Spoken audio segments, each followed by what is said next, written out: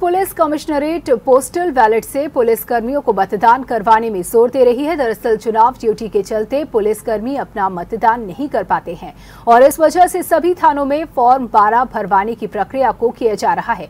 Postal ballot को विभाग में लिफाफा बंद कर गणना के लिए भेजा जाएगा। ज्वाइंट कमिश्नर आनंद प्रकाश तिवारी ने जेएमटी न्यूज़ के संवाददाता नितिन दीक्षित से बात करते हुए इस मामले में अधिक जानकारी दी।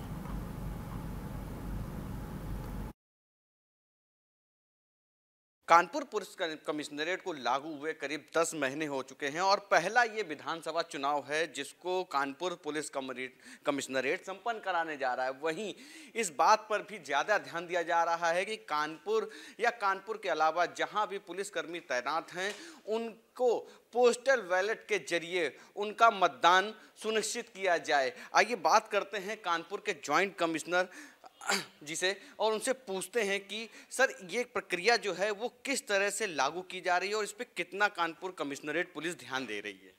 देखिए, पोस्टल बैलेट से सभी पुलिसकर्मी या सभी वो सरकारी कर्मचारी जो मतदान में भाग लेते हैं, मतदान प्रक्रिया में जुड़े हुए हैं, उनको पोस्टल बैलेट से मतदान कराने का ये विधान बहुत पुराना है।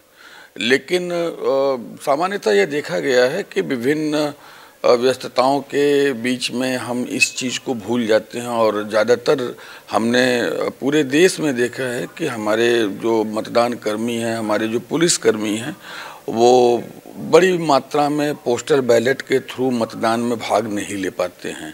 या वो बड़े कॉन्शियस नहीं रहते हैं, इसको लेके सजग नहीं रहते हैं, क्योंकि फॉर्म ट्वेल्व उनको स्वयं भर के भेजना होता है तो वो बड़े कॉन्शियस नहीं रहते हैं। इस बार हमने अभियान चलाया है और हमने इसके लिए विशेष तौर से प्रयास किया है कि सभी पुलिसकर्मी फॉर्म ट्वेल्व फिलअप करके दें और हमने उनसे कल फिलअप करके ले लिया है। और सभी जनपदों में जहाँ के वो मूल रूप से रहने वाले हैं, वहाँ के जिला निर्वाचन अधिकारी से बातचीत करके हम उसे फॉर्म को भेज रहे हैं। और हम ये इंश्योर करने का प्रयास कर रहे हैं कि सभी लोग 100 परसेंट तो डेफिनेटली हमारा टारगेट होता है लेकिन कम से कम 90 प्रतिशत से ऊपर हम पोस्टल बैलेट से मतदान करा सकें इस पे हम होमवर्क कर रहे हैं। सर ये जो प्रक्रिया है क्या जो ये फॉर्म ट्वेल्व है ये सभी थानों में मिलेंगे पुलिसकर्मियों को जो बाहर के पुलिसकर्मी हैं? और देखिए हमारे जितने भी पुलिसकर्मी हैं उनको हमने फॉर्म ट्वेल्व भेज दिया है। और हमारे सभी पुलिसकर्मियों ने फॉर्म ट्वेल्व फिलअप करके ऑलमोस्ट सबने कल रात तक हमें दे दिया है। तो पहले फ़ेज़ के चुनाव में जो जनपद हैं, उन जनपदों को तो आज हमने डिस्पैच भी कर दिया है कि वहाँ के जिला निर्वाचन अधिकारी को और बाकी अन्य फेजेज के हम जो है यहाँ से डिस्पैच कर रहे हैं। तो हमारी कोशिश है कि हम सबका मतदान करा पाएँ।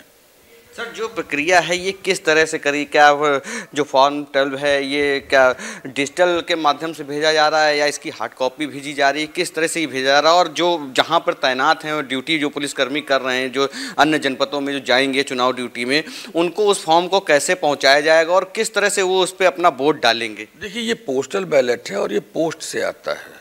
हाँ ये ज़रूर है कि वहाँ के जिला निर्वाचन अधिकारी के पास फॉर्म ट्वेल्व में जो आवश्यक सूचनाएँ हैं वो भर करके और जो मतदाता है वो साइन करके, प्रमाणित करके भेजता है। तो हमने सभी पुलिस कर्मियों से फॉर्म ट्वेल्व में उनकी सारी सूचनाएँ उनके हस्ताक्षर के साथ ले ली हैं और जिला निर्वाचन अधिकारी वो जिस जनपद का मतदाता है, वहाँ के जिला निर्वाचन अधिकारी के पास हम उसको भेज रहे हैं।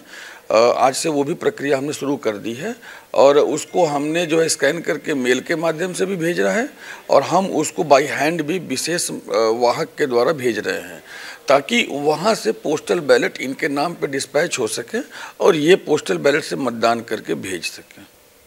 आप जॉइंट कमिश्नर आप ज्वाइंट कमिश्नर थे, आपने बताया कि पोस्टल बैलेट जो है, वो यहाँ से भेजे जा रहे हैं और जिला अधिकारी जहाँ जहाँ पर भी पुलिसकर्मी मतदान ड्यूटी में लगे हुए हैं, वहाँ के जिला अधिकारियों को भी इस बारे में बता भी दिया गया और उन्होंने कहा है कि 90 परसेंट जो है, वो पुलिसकर्मियों से इस तरह के जो वोट हैं, वो ज़रूर डलवाएँगे। वीडियो जर्नलिस्ट विक्रम सिंह के साथ नितिन दीक्षित जे न्यूज़ कानपुर।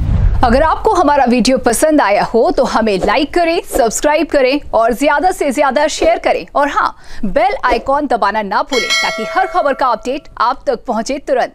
आप हमें इंस्टा ट्विटर और फेसबुक पर भी फॉलो कर सकते हैं। हमारी आईडी है at the rate J M D news flash